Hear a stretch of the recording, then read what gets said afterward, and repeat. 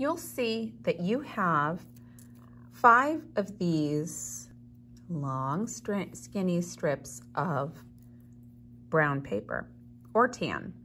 These are paper quilling or quilling paper and you're going to use these to create the outer hoop of the um, dream catcher. You're going to use this tool. This is called a slotted tool, and it has this, you know, if you can see, there's a space there. And what you do is you slide that into the space. Now, you might have it like this. That is not what you want. You want to pull it all the way to the end as much as you can. It's okay if just a teeny bit is poking out, but you really don't want to have any if possible. And then you just start turning. And you turn, turn, turn. You're gonna do that for the entire length of this strip. Now you might find that it starts going like this, right? You don't want that to happen. You're making a flat kind of a, a wheel or what's gonna end up happening is it'll be a circle. So if you find that it's kind of going off to the side, just tap it and put it back together. You can take your time, but don't work too slowly with this because this should be a quick part of this. And again, just tap it to keep it together. You go all the way. Just spinning that tool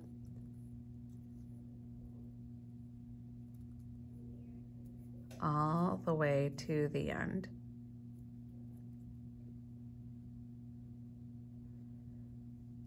When you get to the end, it looks like this.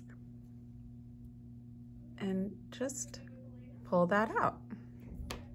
You can roll it in between your fingers to kind of make it stay. But what we're gonna do is we want for these parts to end up this size. So we're gonna let go of it and let it untwist a bit. You can lift it up and kind of drop it a little. And you may end up having to kind of help it along a little bit just by moving it, kind of untwisting it a bit.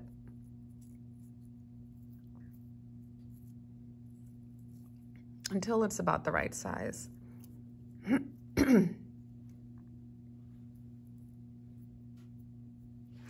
Now, at that point, you're gonna take a tiny, teeny, tiny bit of glue.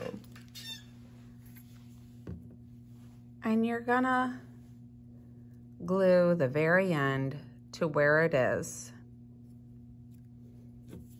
And when I say a tiny bit of glue, I mean a very teeny tiny bit of glue.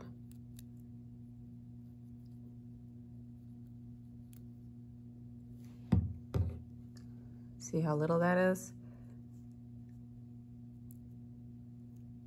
You just have to hold it in place for a short time because it's such a little bit of glue that it doesn't take very long for it to dry.